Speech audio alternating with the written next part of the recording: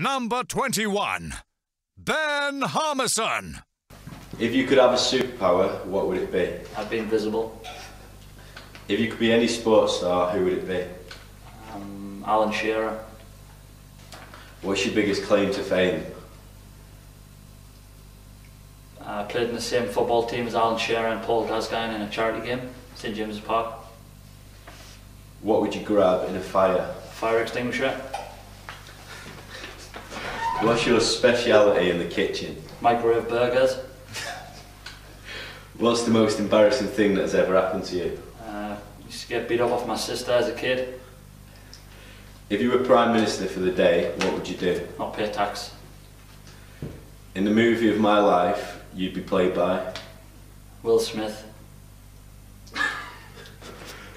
What's your best joke? Um, lad walks into Greggs in Ashton and says, excuse me, is that a cake or meringue? And the woman says, no, you're right, it's a cake. Think about it.